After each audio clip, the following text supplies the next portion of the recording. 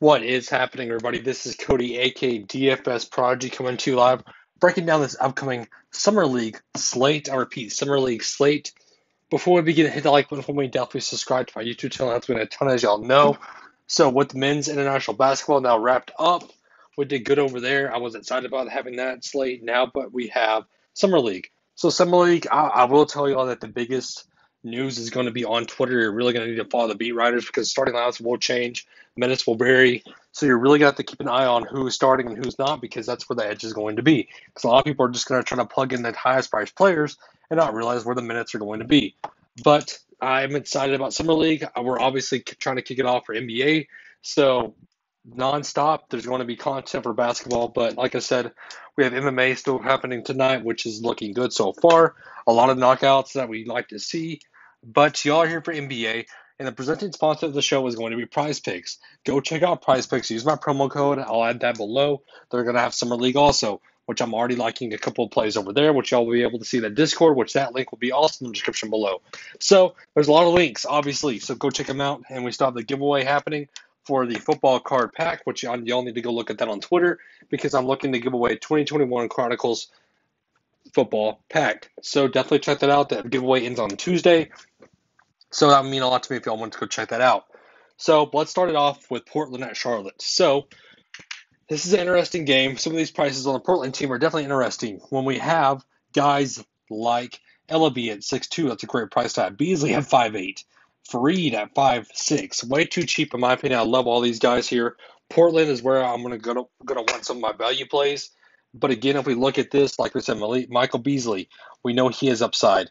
So again, blanketly, four eight. I'm looking at the top prices though for these guys on Portland. Mudiay, we know the veteran. You know he's a vet. We know he can run the point pretty well. I like that price tag for him most definitely. But on the Charlotte side, uh, I do like Vernon Carey. We know what he brings to the table. He has double double upside at six one. I like the price tag for him. I do I do like that a ton. If we go down and kind of look at a guy like not Lamelo, not Lonzo, LiAngelo, four four. I like that price tag for him, especially if he does start at 4 4. We know he has potential. He's not as good as the other two brothers, but it's a ball brother. We know what he can bring to the table. I don't mind his price tag there whatsoever, and he's a very cheap price tag. This is an okay game, though. I'm not really getting a ton of pieces out of this game, though, but there's a couple guys, like I said, that I would fill in my lineup if I need a filler play. But if we go to the Houston and Cleveland side, I do like this Houston team. This is where I'm going to be looking at some guys. So if we look at a guy like Kenyon Martin at 8-4, I know the price tag is a little high, but I do like what he brings to the table also where we know that he has a veteran potential, meaning that he's seen minutes already in the NBA compared to some of these other guys. If we look at a guy like Jalen Green, they're going to want some of him. Jae'Sean Tate, we could even see play more minutes. I do like that. If we look at a guy like Khyri Thomas, which we know what he brought also last year, at 5,000. So a lot of these guys that I don't mind on this team that we've seen in the NBA, they can certainly pop off and have big games. So looking on the Cleveland side, Okoro, this offense is going to be ran through Okoro and Mobley. I love, love, love these two guys. We know Mobley's going to play uh, some of these games, obviously, but I know he's going to sit on a couple. He, you know, he's playing this first game. I love his upside at Mobley at 8 1. He's double double potential, big man on the court. And like I said, the offense is going to be ran through him and Okoro, which I love Okoro at 8 6. I'd rather get to him than Kenyon Martin, not going to lie. Uh, we Roger Thomas, we see him. We've seen him from last season. I do like him. Stevens at five one. So again, the minutes are going to both be there. I definitely like a couple of these guys on this team. Let's go to Washington, Indiana. Still not one of my favorite games. We're, I'm still waiting on that game. But like I said, on this Washington team, if we look at a guy like Kispert at 7,000, I do like him, the rookie. They're going to want to feature him, obviously, the first round pick. I like the upside that he brings. Uh, and again, it's mainly just him, maybe some Cassius Winston Wright Foreman. I think Winston's going to deserve a shot here. I like that. If we look at Wright Foreman at 5,000, I don't mind it either. Um, but again, I, I'd rather get to the top guys on this team on the Indiana side, if we look at a guy like Brissett, we know he's a big man and we know he has potential. I like that at 7 6. Uh, I wouldn't mind filling him in. But uh, maybe Goga, but he's injured. I don't imagine Goga playing. So if in fact Goga is out, we could see a guy like, let me find him, Brahma start, which I do like his upside at the price tag of 4 2. So let's go to OC, OKC in Detroit. If we look at OKC, obviously there's going to be a guy that stands out to, to me. Uh, it's going to be Theo Maledon at 7 1. He's going to have to keep this team in check on the, against the Pistons, plain and simple. The Pistons are a powerhouse, which we'll look at that in a second. Terance Mann, our Tre Mann, my bad, the brother, I like that. After 6 2, the rookie, he's going to want to see some minutes. And then the Charlie Brown, if we remember him from last season, my goodness. But let's go to the Detroit team. I love this Detroit team. Obviously, though, the prices are skyrocketed up.